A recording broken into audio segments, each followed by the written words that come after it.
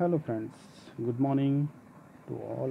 Today topic is anti emetic agents anti emetic जो हमारी drugs होती हैं, उनका क्या फ़ंक्शन होता है? जैसे हमने पिछले वीडियो में देखा था एमेट्रिक्स एजेंट्स हमने देखा था एमेटिक ड्रग्स देखी थी, उनका क्या रोल था हमारे बॉडी पर?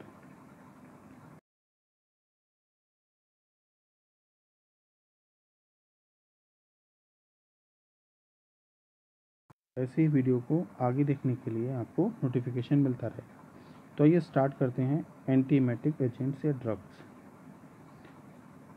पहले definition these are drugs use to prevent और सप्रेस वॉमिटिंग उसमें क्या था? वॉमिटिंग को हम लोग लेके आ रहे थे वॉमिटिंग करा रहे थे। इसमें क्या है? हम वॉमिटिंग को सप्रेस करेंगे, रोकेंगे।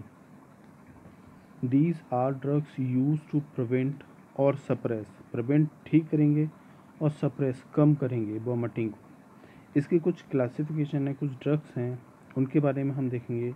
तो पहला है एंटीकोलिनर्जिक्स ड्रग्स तो इसमें हायोसिन है और डाइसाइक्लोमाइन दो ड्रग्स हमारी इसमें आती हैं एंटीकोलिनर्जिक ड्रग्स में। ये क्या करती हैं, हमारे कुछ हद तक हमारे वॉमिटिंग को कम करती हैं सप्रेस करती हैं। ऐसे ही एच वन जो हमारे होते हैं, वो क्या करते हैं, वो भी सप्रेस करते हैं। एंटीमेटिक प्रॉपर्टी रखते हैं। तो इसमें कुछ ड्रग्स हैं प्रोमिथाइजिन है, ऐसे ही डाइफेनाड्रेमिन माइन है, ऐसे ही डाईमिथाइड्रामाइन है डॉक्सिलामाइन है, ऐसे बहुत सारी ड्रग्स हैं जो कि मैंने इसमें डाली हैं। ऐसे ही न्यूरोलेप्टिक्स जो हमारी ड्रग्स हैं, वो भी हमारे सप्रेस करती हैं एंटीमेटिक प्रॉपर्टी रखती हैं। क्लोरप्रोमाजीन जो इसमें ड्रग है बेसिकली हम लोग यूज़ करते हैं। ऐसे ही प्रोकैनेटिक जो हमारे ड्रग्स होती हैं मीटोक्लोप्रोमाइड्स ऐसे ही डोमपेरिडोम ये भी सप्रेस करती है वॉमिटिंग को कम करती है cisapride and mosapride and itopride ये हमारे कुछ ड्रग्स हैं। ऐसे ही five S T three agonist इसमें कौन सी है? ऑन्डेस्टेरॉन जो हम लोग बहुत ज़्यादा कॉमनली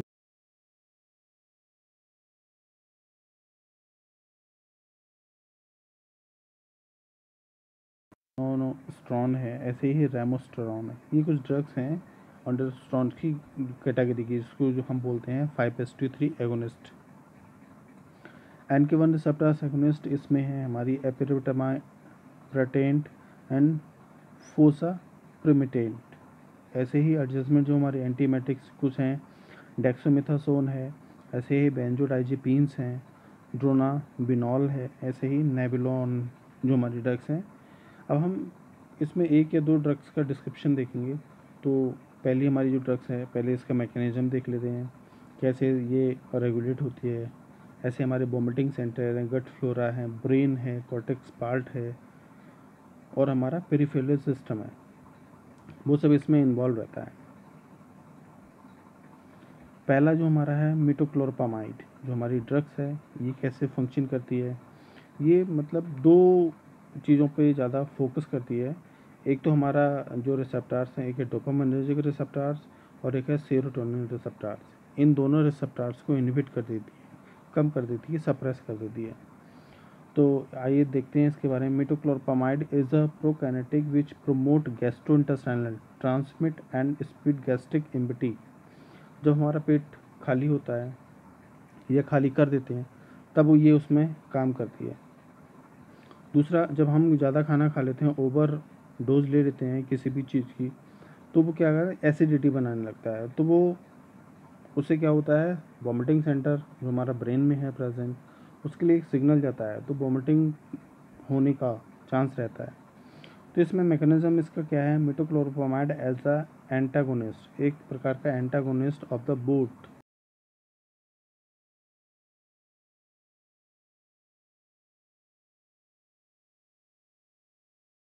जो हमारे होते हैं, वो प्रेजेंट होते हैं। इन दोनों रिसेप्टर्स को क्या करें this result C T Z and vomiting centre और सप्रेस इन दोनों ये ड्रग्स क्या करेंगी? वॉमिटिंग सेंटर को सप्रेस करने का काम करेंगे।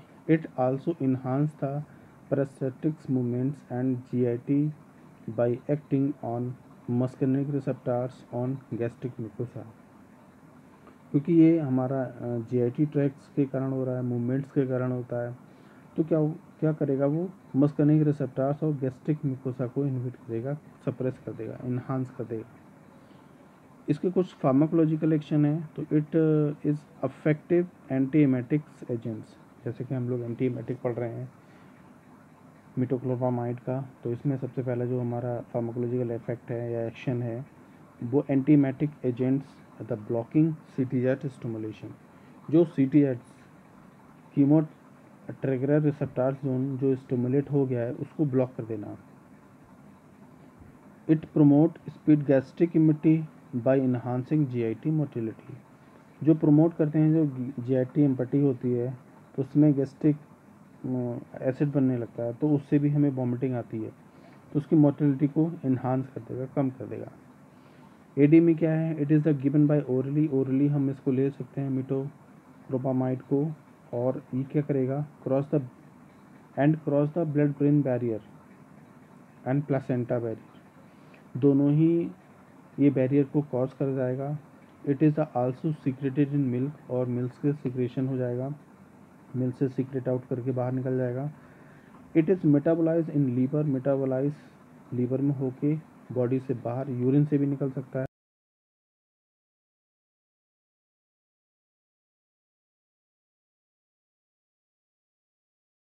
Loss of stool and common एक इसका कॉमन है, एक या दो या तीन भी हैं तो इसका अगर हम लॉन्ग टर्म तक अगर यूज़ करते हैं मिटोक्लोपामाइड को तो पार्किंसन की डिसीज़ हो सकती है और गैनोमेस्ट्रीमिया ये हो सकता है। कॉन्ट्रेंडिकेशंस किस किसमें नहीं देना चाहिए? कॉन्ट्रेंडिकेटेड है। It should not be given during pregnancy and milk feeding mother अगर हम दे देंगे तो जैसा अभी देखा था ब्लड ब्रेन बैरियर और प्लेसेंटल बैरियर को ये कॉज कर रहा था। तो प्रेग्नेंट लेडी में नहीं देना है और ना ही मिल्क फीडिंग मदर में देना है, क्योंकि वो कॉज करके मिल्क में आ जाएगा और वो बेबी उसको ले लेगा तो हो सकता है कुछ प्रॉब्लम कुछ कॉन्टेंटिकेशन आ जाए। It also avoid the Parkinson जो हमारे पेशेंट्स होते हैं पार्किंसन वाले, उसमें बिल्कुल भी हमें इस ड्रग्स का बिल्कुल यूज़ नहीं करना है। इंटरेक्शन इट इज़ जो हमारे हैं strength and absorption of many drugs example जैसे एस्प्रिन है डिजे और डेजीपाम है etcetera by fertilizing the gastric emptying the extent of absorption of digoxin is reduce by allowing less time for it abolish the therapeutic effect of levodopa और उसका levodopa में use होता है। यूज़ इसके क्या हैं? मिटोक्लोपामाइड के एंटीमेटिक तो होता ही है एंड गैस्ट्रोकैनेटिक्स में भी इसका होता है यूज़। यूज़ डिस्फोनिया एंड जियाड गैस्ट्रिक इम्पटी में भी इसका यूज़ होता है स्टमक में। सेकेंड जो मेजर लार्ज हमारी जो ड्रग्स है ऑन्डेस्टॉन्स वो उसका हम देखेंगे, ये कैसे काम करती है। It is the five S T three receptors पे काम करती है एगोनिस्ट एंटागोनिस्ट है एजेंट इसका कैसा मैकेनिज्म है? Ondansetrons block the five S T three receptors को ब्लॉक करती है, और किस सेंटर को ब्लॉक करती है? C T Z and inhibit the binding of serotonin the five the 5-HT3 receptors brain में सी टी जेड जो हमारा होता है, एक लोकेशन है ब्रेन में, उसको इनहिबिट करेगा ब्लॉक करेगा। और हमारे स्टमक में जो सीरोटोनिन है, उसको भी रिसेप्टार्स को ब्लॉक करेगा। This result inhibit the stimulation of C T Z and vomiting centre दोनों को ये सप्रेस कर देगा ऑनडेस्ट्रॉन फार्माकोलॉजिकल एक्शन इसके क्या है? Ondansetron block the emptying impulse of both peripheral and central peripheral मतलब जो हमारा स्टमक का पार्ट है, उसको भी ब्लॉक करेगा। और सेंट्रल नर्वस सिस्टम जो हमारा सिटी जेड वहाँ प्रेजेंट है उसको भी ये ब्लॉक करेगा। It suppress the vomiting induce by cytotoxic drugs इसको भी ये सप्रेस करेगा। साइटोटॉक्सिक जो भी ड्रग्स होंगी, उनको वो सप्रेस करेगा। एडीएमई इसकी क्या है? It is given by oral route हम इसे ओरल ले सकते हैं। मेटाबोलाइज लीवर और excrete the urine and bile adverse effect क्या है? एडवर्स इफ़ेक्ट माइल्ड जो हमारा हेडक होता है।